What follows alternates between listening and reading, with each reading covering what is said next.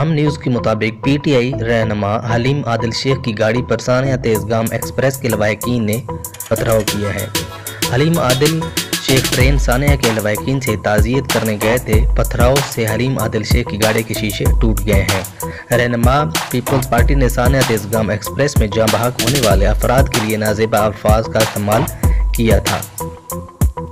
جبکہ دوسری جانب پی ٹی آئی سندھ نے سوشل میڈیا پر جاری پیغام میں کہا ہے کہ حلیم عادل شیخ پر سانحہ تیزگام کے ورثہ سے تعزیت سے واپسی پر حملہ ہوا۔ صوبائی وزیر نواب تیمور ٹالپر کی موجودگی میں فائرنگ کی گئی ہے۔ حملہ آوروں نے پی ٹی آئی سندھ کے سابق نیب صدر جہان شیر جنیچو کی گاڑی کو نشانہ بنا کر تباہ کر دیا۔ تیمور ٹالپر پولیس اور اپنے پرائیویٹ سیکورٹی کے ہمراہ موجود تھے۔ وزیر اعظم عمران خان نے کہا ہے کہ فضل الرحمان کے ہوتے ہوئے یہودیوں کی ضرورت ہی نہیں ہے۔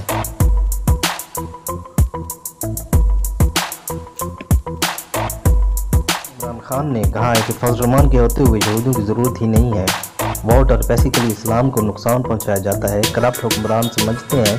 مل کر دباؤ ڈالیں گے اور میں این آر او دے دوں گا۔ اللہ سے وعدہ کیا تھا کہ ملک کو مقروض کرنے والوں کو جیلوں میں علاوہ انہوں نے کہا ہے کہ لوگ سمجھتے ہیں فضل رحمان اسلام کا ٹھیکیدار ہے۔ سوشل میڈیا کا زمانہ ہے چیزیں نہیں چھپتی۔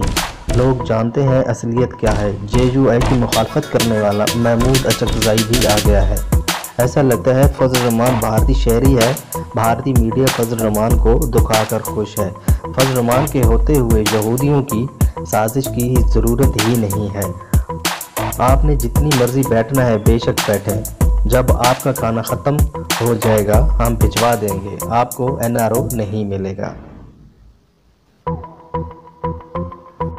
نجی ٹی وی دنیا نیوز کے مطابق، نواز شریف کے معالج ڈاکٹر عدنان نے کہا ہے کہ نواز شریف کے پلیٹ لیٹس کا مسئلہ بہتری کی طرف گامزن ہے، جو اچھی پیش رفت ہے۔ انہوں نے کہا ہے کہ سابق وزیر اعظم کے دل اور گردوں کا مسئلہ ہے، جس کا علاج جاری ہے انہوں نے نواز شریف کے لیے دعا کی، اپیل کی۔ میڈیکل بورڈ ذرائع کے مطابق نواز شریف کے پلیٹلیٹ سیلز میں بہتری آنے کے بعد دل کی دوسری ادویات بھی آج سے دینا شروع کر دی ہے